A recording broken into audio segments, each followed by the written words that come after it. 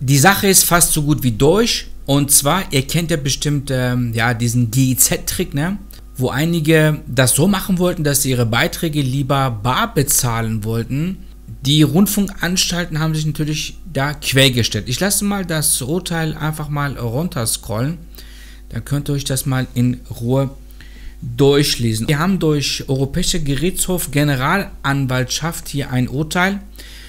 Barzahlung muss grundsätzlich möglich sein. In einem Verfahren vor dem Europäischen Gerichtshof um die Möglichkeit zur Barzahlung des deutschen Rundfunkbeitrages hat sich der zuständige Generalanwaltschaft dafür gesprochen, dass äh, Geldforderungen grundsätzlich bar bezahlt werden können. Wie gesagt, es gab doch mal diesen Trick und ähm, die Rundfunkanstalten haben gesagt, nee, entweder direkt äh, per Überweisung oder ja per Lastschrifteinzug. Es ist ja so, ähm, dass Barzahlung grundsätzlich, ich muss das mal, mal gucken, äh, gegen europäische Recht verstoßen tut. Dennoch können die physische Zahlungen nur in Ausnahmefällen begrenzt werden, heißt es. Also es gibt äh, schon gewisse, ich sag mal, Ausnahmen. Allerdings dürfen Mitgliedstaaten in Ausnahmefällen andere Regelungen erlassen, erklärte die Richterin oder die Vorsitzende. Er verwies ausdrücklich darauf, dass das Bundesverwaltungsgericht diese prüfen müsse. Äh, wie bereits gesagt wurde, hier haben zwei ähm, Wohnungseigentümer sich durch die ganze Instanzen hochgeklagt. Und äh, jetzt muss das Ganze eben halt von ja, Bundesverwaltungsgericht geprüft werden, weil diese ganze äh, GEZ-Geschichten, ja, das ist alles äh, das wird vom Verwaltungsgericht äh, geklärt. Das Bundesverwaltungsgericht kam zwar zu dem Schluss, dass die HR-Satzung gegen das Bundesbankgesetz verstoße.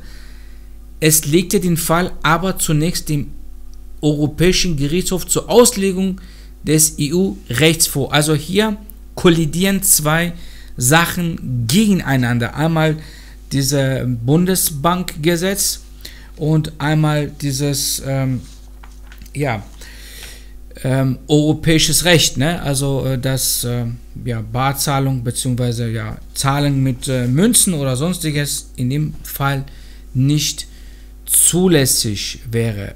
Hilfsweise wollten die äh, zwei Kläger feststellen lassen, dass sie berechtigt sind, Rundfunksbeiträge im Bar zu bezahlen. Dementsprechend ähm, ist äh, ja das Ganze einmal vor Bundesverwaltungsgericht ähm, gelandet und diese wurde dann eben halt ja Europäische Gerichtshof vorgelegt. Die Mitgliedstaaten seien deswegen verpflichtet, schutzbedürftigen Personen ohne Zugang zu grundlegenden Finanzdienstleistungen zu ermöglichen, ihre Verpflichtungen, insbesondere des öffentlich-rechtlichen Art, ohne zusätzliche Belastung zu erfüllen. Anhand dieser Maßstab hat nun das ähm, Bundesverwaltungsgericht die Beitragssatzung des HR zu überprüfen.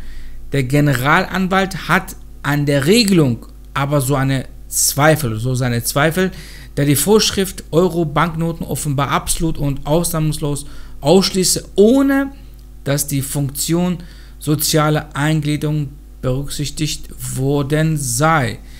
Also ein Urteil ist auf jeden Fall bald zu erwarten, aber wir wissen ja schon mittlerweile, ähm, was auf uns zukommen wird.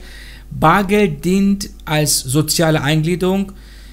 Der Begriff Euro-Banknote legt der Generalanwaltschaft dahingehend aus, dass Gläubiger grundsätzlich verpflichtet seien, Bargeld anzunehmen. Also hier wird deutlich festgestellt, dass sie äh, Bargeld annehmen müssen.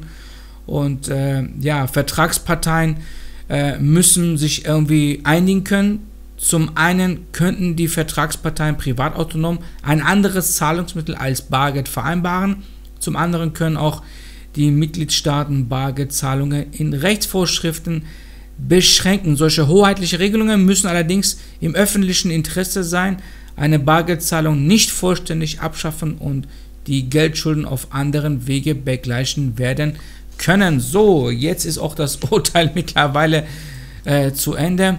Ich scroll das Ganze für euch mal hoch. Also äh, Barzahlung äh, ist wohl anscheinend doch möglich.